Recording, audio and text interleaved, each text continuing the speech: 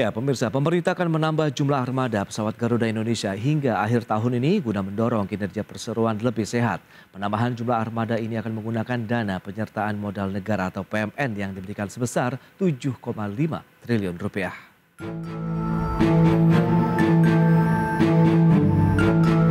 Pasca proses restrukturisasi perusahaan pelat merah PT Garuda Indonesia Persero Tbk berjalan lancar, pemerintah segera merealisasikan bantuan yang diberikan melalui dana penyertaan modal negara atau PMN. Garuda Indonesia akan menerima dana PMN sebesar 7,5 triliun rupiah. Kementerian BUMN menyebutkan dana PMN tersebut akan digunakan untuk menambah jumlah pesawat Garuda Indonesia dan Citylink dari sebelumnya 61 unit menjadi 120 unit di akhir tahun 2022. Menteri BUMN Erick Thohir menyatakan dengan penambahan jumlah pesawat maka akan ada keseimbangan yang diharapkan bisa ikut menurunkan harga tiket pesawat di tanah air di mana saat ini pemerintah memang tengah fokus mengatasi melonjaknya harga tiket pesawat yang dipicu kenaikan harga bahan bakar pesawat atau aftur di pasar internasional. Nah, tetapi inilah momentum yang baik saya rasa eh, tentu bagaimana sekarang recovery Covid sudah terjadi, pertumbuhan ekonomi kita sudah di 5,44. Makanya tadi kita sampaikan ke Bapak Presiden dan para menteri yang hadir, Garuda setelah restrukturisasi PKPU ini akan mulai menambah jumlah pesawatnya kembali di mana yang sekarang Garuda dan Citylink jumlahnya hanya 61 di akhir tahun akan mencapai angka 120. Nah, keseimbangan ini yang kita harapkan juga bisa memperbaiki harga tiket nasional. Erick Thohir memastikan harga sewa pesawat-pesawat yang akan digunakan Garuda Indonesia dan Citylink akan sesuai dengan harga pasar, sehingga tidak seperti harga sewa sebelumnya yang terindikasi kasus korupsi. Jakarta, Tim Liputan IDX Channel. Baik pemirsa untuk membahas tema selanjutnya, pemerintah minta Garuda Indonesia untuk menambah jumlah armada. Kita sudah tersambung melalui Zoom bersama dengan Bapak Irfan Setiaputra. Beliau adalah Direktur Utama PT Garuda Indonesia Persero Tbk. Halo, selamat pagi Pak Irfan.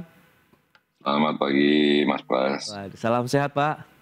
Alhamdulillah. Baik, terima kasih atas waktunya. Ini menarik. Bisa disampaikan bagaimana update terakhir dari Garuda Indonesia di tengah normalisasi juga ini aktivitas masyarakat untuk bepergian, Pak Irfan. Ya, jadi memang disadari bahwa uh, beberapa waktu terakhir ini antusiasme warga untuk bepergian baik itu di domestik dalam negeri maupun luar negeri khususnya seperti umroh ini uh, terjadi peningkatan yang cukup uh, mengembirakan buat kami di uh, dunia aviasi ya. Namun demikian seperti tadi juga disampaikan oleh Pak Erik dan juga seperti diketahui oleh uh, publik juga memang jumlah pesawat kita saat ini terbatas baik Garuda maupun Citylink dan dalam waktu yang tidak terlalu lama lagi tentu saja kita akan tambahkan uh, pesawat-pesawat kita yang operasional dan berharap mudah-mudahan by akhir tahun kita bisa sudah mencapai angka di 120 pesawat baik Garuda maupun Citylink. Ini tentu saja harapan kita bisa memenuhi kebutuhan masyarakat yang selama ini uh, agak kesulitan lah memperoleh uh, tiket Garuda maupun Citylink. Oke, dari tingkat okupansi penumpang pesawat Garuda sendiri bagaimana Pak peningkatannya? Apakah sudah di atas 10 persen atau lebih dari itu? Ya, uh, kita uh, hitungan sementara kita sih uh, di kisaran 30-an ya peningkatannya, 30 persenan dan uh, okupansi ini mayoritas sudah di angka 80 persenan di setiap penerbangan gitu ya, tempat duduknya penuh 80 persenan. Di beberapa destinasi dan jam favorit malah sudah mencapai uh, 90 8 persen ya, jadi tinggal sisa satu dua kursi dan itu pun juga karena last minute cancellation dari para penumpang. Jadi kami gembira oleh sebab itu uh, apa kita tentu saja akan terus menerus aktifkan pesawat-pesawat kita yang lainnya. Begitu ya. Kalau kita cermati tadi hmm. Pak Erick Thohir juga sudah menyebutkan penambahan dari armada pesawat Garuda maupun Citylink tadi diharapkan juga bisa ikut menurunkan harga tiket pesawat yang kemarin ini sempat memang menjadi perbincangan hangat begitu. Tanggapan Anda bagaimana nih Pak Irfan?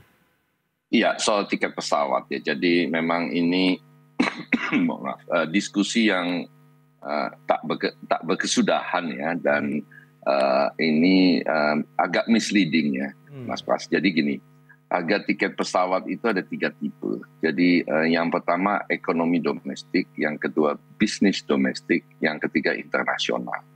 Jadi yang memang diatur oleh negara melalui Kementerian Perhubungan adalah uh, tiket ekonomi domestik ya. Ini memang diatur demikian rupa oleh Kementerian Perhubungan supaya seluruh maskapai itu bergerak di sisi harga tiketnya dengan uh, aturan tarif batas bawah dan tarif batas atas gitu ya uh, supaya tidak berlebihan dan tidak juga uh, hantam-hantaman lah uh, murah-murahan. Garuda ini tidak pernah lewat dari harga yang telah ditetapkan oleh pemerintah untuk setiap rute dengan TBA-nya. Jadi dari dulu kita sama, tidak pernah lebih dari TBA. Mungkin Mas Pras bisa cek loh kawan sebelah gimana. Tapi kalau kita nggak pernah, kita nggak pernah. Nah, hanya saja beberapa waktu terakhir ini kan kita sama-sama tahu bahwa harga minyak dunia meningkat termasuk di dalamnya harga aftur. Betul. Oleh sebab itu pemerintah mengizinkan sebenarnya beberapa waktu yang lalu peningkatan 10% surcharge. Yes. Jadi surcharge ini khusus da, uh, dalam kondisi-kondisi khusus dan hanya berlaku tiga bulan, kita diperkenankan meningkatkan 10%. Jadi perlahan-lahan memang kita tingkatkan jadi tapi peningkatannya hanya 10 persen, ya kan. Nah setelah review tiga bulan, kemudian karena harga aftur itu juga tidak menunjukkan tanda-tanda menurun, pemerintah mengizinkan kenaikan 15 persen. Jadi dibandingkan sebelumnya 10 persen naik 15 persen. Jadi ada peningkatan 5 persen. Oke. Nah pada waktu aturan itu diberlakukan, kami di Garuda melihat perkembangan harga aftur itu menurun. Kan jadi nggak fair kalau kita semata-mata karena diizinkan oleh pemerintah terus kita hantam komo kita naikkan 15 persen. Kita malah justru bertahan di harga sebelumnya dan kita terus menerus memonitor apakah memang harga aftur tersebut menunjukkan tingkat peningkatan. Ternyata menurun. Okay. Jadi kita bertahan menggunakan aturan di 10 persen, bukan di 15 persen. Hmm. Jadi ketika heboh orang bicara kenaikan harga, saya juga bingung gitu kan, orang kita nggak naikin harganya. Okay. Yang kedua, kita juga memahami bahwa Garuda mau ini, ini banyak dicintai oleh masa dan maunya naik Garuda lah gitu kan. Baik. Uh, apalagi setelah bertahun-tahun tidak terbang gitu. Jadi kita tetap mengadakan promo dan hari ini kalau anda ngikutin uh, apa website kita, hampir setiap hari kita bikin promo baik itu thanks God It's Friday maupun promo-promo yang kita lakukan bersama partner-partner kita para bank swasta maupun himbara. Terakhir kita kemarin mengumumkan dengan BNI gitu semacam uh, apa uh, diskon atau uh, ya diskon hampir 750 ribu di rute-rute tertentu di hari-hari tertentu. Jadi memang harapan kita teman-teman publik yang mau terbang ini ya kalau mau menikmati harga yang lebih murah dibandingkan harga standarnya Garuda ya dimonitor terus menerus saja uh, sistem Promonya ya. atau website kita promo. Banyak kok kita bikin promo, banyak kita bikin promo. Kita juga pengen mendorong teman-teman untuk yang yang yang pengen dapat harga lebih murah untuk untuk bisa terbang. Nah kalau untuk bisnis kelas maupun internasional ini kan sesuatu yang cukup realistis saja gitu kan. Ketika jumlah penerbangan berkurang, ketika sedikit, ya uh, mohon difahami bahwa kita secara entitas bisnis juga coba memaksimalkan revenue. Dan saya memang uh, banyak mendapatkan keluhan kenapa uh, terbang ke Singapura begitu mahal. Okay. Ya kan? Ya saran saya sih ya kalau mahal ya terbang ke Bali aja deh gitu kan. okay. Daripada Anda ke Singapura terus kemudian uh, ngomel sama saya agak mahal tapi di Singapura juga belanjanya gila-gilaan gitu kan. Mendingan hmm. spend dana Anda buat teman-teman uh, di Indonesia lah. Oke, gitu. tapi disparitas ini disebabkan apa nih Pak kalau bisa disampaikan? Apakah mengikuti harga aftur internasional juga begitu menjadi salah satu faktornya dibandingkan dengan tadi harga domestik yang juga sudah ada regulasinya dari Kementerian Perhubungan? Ya, ketika tidak ada regulasi tentu saja ini persoalan uh, supply demand. Jadi awalnya kita kayak seperti Singapura masih jual di harga 3 jutaan gitu ya. Uh, one way pulang pergi 6 jutaan seperti kondisi normal. Tapi teman-teman bilang, "Pak, yang lainnya udah pada 6 juta, 7 juta gitu." Hmm, kita okay. uh, kita mau tetap 3 juta apa enggak? Ya uh, ini kemudian kita bicara uh, antara kecerdasan atau atau konsistensi ya kan. Baik. Jadi uh, ini market market market market ini aja sih market market demand supply okay. dan nanti dengan penambahan jumlah armada misalnya untuk internasional juga teman-teman maskapai yang lain tentu saja ini akan uh, ngikutin hukum hukum hukum alam biasa yang kemudian nanti pelan-pelan akan turun. Ya, tadi sudah disampaikan juga oleh Pak Erick Thohir begitu 120 unit pesawat begitu yang akan digunakan ya. nanti penambahannya untuk Garuda dan juga Citylink. Nanti akan difokuskan untuk rute mana? Kak? Apakah mengejar domestik atau 50-50 misalnya? Oh enggak, uh, seperti arahannya Pak Menteri kita akan sangat fokus ke domestik, okay. ya kan. Dan uh, kalaupun internasional kita hanya akan fokus di umroh. Ini juga uh, animo umroh juga uh, menakjubkan gitu Uh, mungkin uh, Mas Pak bisa cek awan sebelah bagaimana kita sekarang masih terbang dengan dua kali sehari. Tentu saja kita berharap nanti bisa terbang mendekati empat kali sehari dan juga dari destinasi atau kota-kota non Jakarta seperti Surabaya, Makassar, Medan, Insya Allah dan mungkin eh, beberapa kota di di Kalimantan. Karena kita berharap mereka yang umroh ini nggak usah mampir-mampir deh, terbang aja langsung ke tanah suci supaya uh, tidak terlalu lelah dan uh, tidak menghabiskan waktu yang terlalu lama. Ini yang juga kita rencanakan. Nah, memang untuk itu kita butuh beberapa pesawat untuk disediakan untuk di uh, melayani jamaah-jamaah umroh kita. Tapi mayoritas tetap akan di domestik dan kalau ini dikaitkan dengan harga, tentu saja pertama kita berharap harga aftun turun terus sehingga surcharge ini tidak berlaku lagi. Yang kedua, stay tune kita tentu saja akan terus menerus memperbanyak promo-promo kepada para publik gitu. Baik, kalau kita bicara mengenai dana PMN 7,5 triliun yang juga sudah disampaikan Pak Menteri tadi, menurut Anda bagaimana ya. realisasinya sejauh ini? Ya, uh, itu dana pemerintah. Jadi uh, dana pemerintah kalau mau dikeluarkan membutuhkan aturan-aturan uh, yang memadai, yang yang yang cukup ketat ya. Salah satu yeah. aturannya adalah harus ada peraturan pemerintah. Jadi yang pertama. Hmm. Yang kedua, ketika pemerintah memasukkan dana tujuh setengah triliun ke Garuda, ini kan pemerintah sebagai pemegang saham. Yeah. Ya, kita juga mesti fair sama pemegang saham lain termasuk publik ya bahwa semua juga diberi kesempatan kalau salah satu pemegang saham memasukkan dana yang lain mau ikutan apa enggak Nah proses itu haruslah lewat proses RUPS. Nah proses itu hari ini sedang dikerjakan karena apa? Karena kita mesti punya uh, audited bulan Juni. Okay. Uh, insya Allah akhir Agustus ini udah keluar. Yang kedua kita mesti punya pihak independen untuk menilai kira-kira harga saham yang pantas berapa. Hmm. Sehingga ketika tujuh setengah triliun masuk ini pemerintah dapat tambahan berapa saham, eh, teman-teman uh, yang lain kalau mau ikutan ya saling menghitung, kalau nggak mau ikutan tentu saja konsekuensi dilusi harus akan terjadi gitu kan ya. Yeah. Jadi ini memang butuh waktu, tetapi kita sama-sama paham bahwa ini mesti kita jaga sama-sama supaya pertama adalah uh, pemerintah ini uh, mengeksekusinya dengan benar, yang kedua seluruh pemegang saham Garuda lainnya uh, diperlakukan secara fair. Berikut ini kami sampaikan informasi dari keberangkatan penerbangan domestik. Datanya seperti yang bisa Anda saksikan. Ya ini ya untuk keberangkatan dari angkutan penumpang khususnya di penerbangan domestik per Juni 2022 kita lihat trennya untuk Bandara Soekarno-Hatta yang berwarna biru ini cenderung memang sudah mulai mengalami peningkatan begitu dari Januari sampai dengan Juni. Kemudian untuk di Ngurah Rai juga ya kita lihat fluktuasinya masih ada tapi kecenderungannya masih uh, cukup tinggi. Selanjutnya dari keberangkatan internasional uh, bagaimana untuk penerbangan selanjutnya?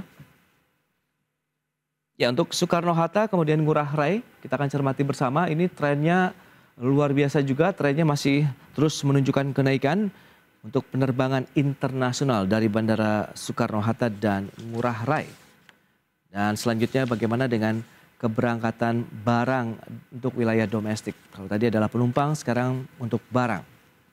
Per Juni 2022 kita lihat dari sisi Soekarno-Hatta terlebih dahulu sempat melonjak sampai dengan 25.419 ton pada bulan April kemudian kembali lagi mengalami penurunan terakhir per Juni sudah di 15.207 ton untuk keberangkatan barang domestik di Soekarno-Hatta sementara Ngurah Rai 933 ton.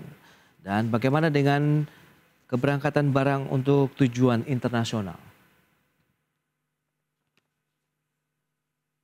Baik, untuk Soekarno-Hatta cenderung flat begitu, tapi kita lihat untuk Ngurah Rai ini ada peningkatan ya untuk pergerakannya. Baik, kita akan lanjutkan kembali perbincangan bersama dengan Bapak Irfan Setiaputra, Direktur Utama PT Garuda Indonesia Persero TBK. Ya Pak Irfan kita lanjutkan kembali perbincangan kalau kita lihat trennya memang ini naik terus ya dari awal tahun sampai dengan uh, Juni biasa dikatakan berarti ini semester pertama tahun ini. Apakah ini menjadi salah satu hal yang yang menjadi oase juga nih bagi industri penerbangan di tanah air Pak Irfan? Ya tentu saja ya jadi uh, peningkatan uh, traffic baik itu penumpang maupun barang ini uh, bukan hanya makin positif tapi lebih stabil ya. Karena kalau kita perhatikan 2020 2021 itu kan ada spike terus naik menjelang akhir tahun tiba-tiba menurun di awal tahun gitu ya. Kita sempat khawatir memang di 2022 awal itu uh, dengan kasus Omicron ini uh, menjadi terbatas kembali gitu. Tapi alhamdulillah karena uh, uh, komunitas kesehatan kita sudah makin membaik uh, walaupun memang masih ada aturan-aturan yang diberlakukan, tetapi juga uh, sudah semakin tertib publik, sehingga dan juga border atau pembatasan di luar negeri juga sudah dibuka, sehingga kita cukup optimis sekarang uh, menghadapi peningkatan traffic, khususnya nanti menjelang libur akhir tahun dan uh, tahun baru maupun Natal. Jadi ini semuanya memang kita sedang siapkan mengarah ke situ dan kita sudah melihat uh, bookingan untuk uh, penumpang menjelang akhir tahun ini perlahan-lahan meningkat. Oleh sebab itu penting buat kita untuk terus-menerus menambah uh, pesawat kita untuk bisa dapat melayani kebutuhan tersebut. Itu dia, tadi sudah disampaikan ada dana PMN, tapi Anda katakan juga ini masih membutuhkan proses karena perlu ada peraturan pemerintah, kemudian akan menggelar RUPS juga begitu, sehingga bagaimana nih mekanisme untuk pengadaan pesawatnya untuk mengejar 120 unit Pak sampai dengan akhir tahun? Jadi uh, yang disampaikan oleh Pak Erik itu adalah tambahan armada, ya. ya kan?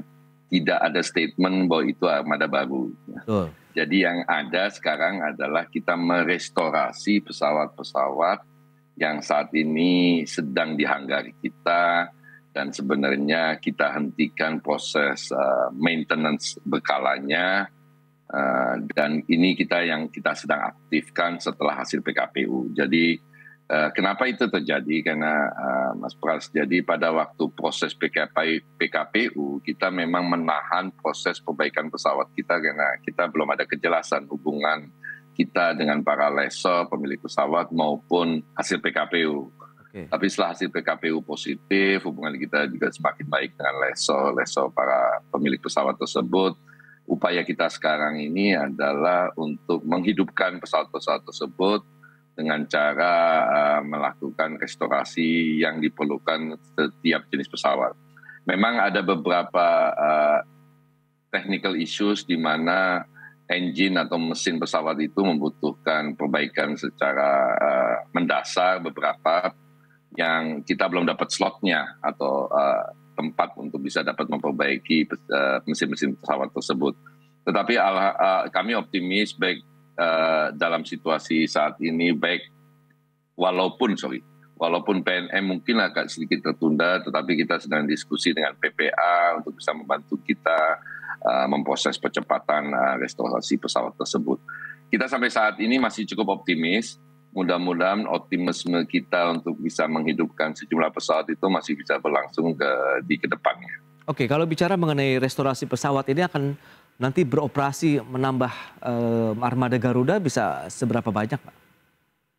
Ya, jadi uh, kalau tadi disampaikan kita sekitar ada 60-an saat ini kami dengan Citylink. Hmm. Nah, nanti setelah di uh, setelah uh, proses restorasi pesawat kita yang akan terbang atau istilah kita serviceable itu harapan kita bisa di angka 120. Jadi ada tambahan 60 pesawat lah yang kita restorasi. Oke, cukup banyak berarti Pak ya. Ini yang Ya, ini kerja keras, kerja okay. keras di di teman-teman di GMF. Kerja keras kita ngobrol 24 jam, satu minggu juga dikerjakan. Baik. Uh, sambil kita nunggu dananya.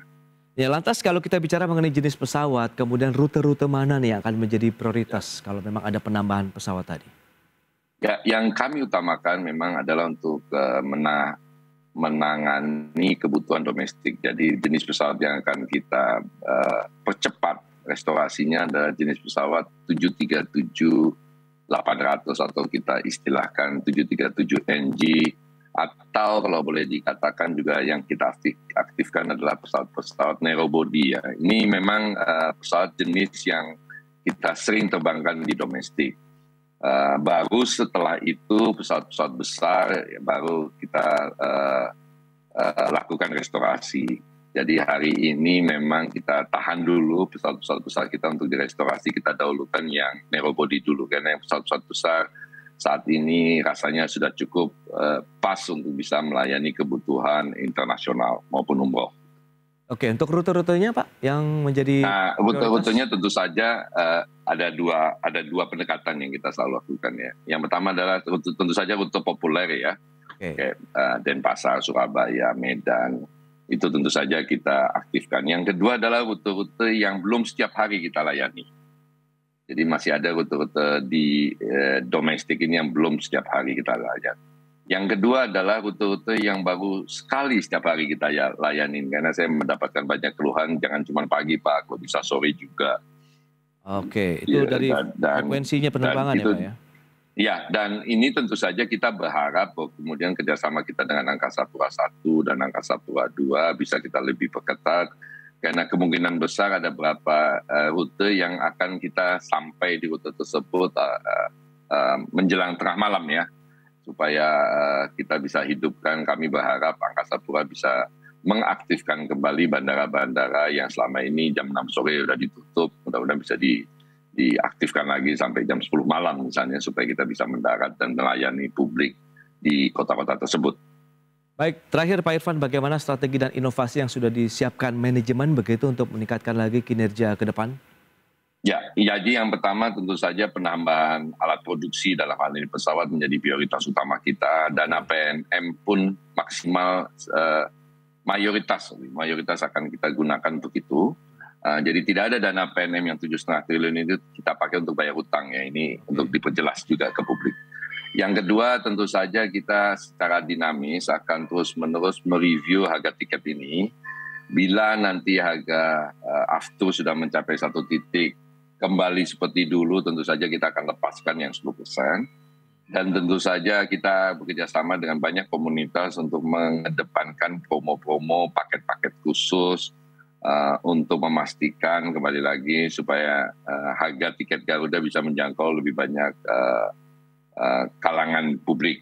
Dan yang terakhir adalah uh, kita ingin terus menerus meningkatkan engagement kita kepada penumpang, memberikan nilai tambah. Jadi uh, harga mahal mungkin bisa oke okay selama yeah.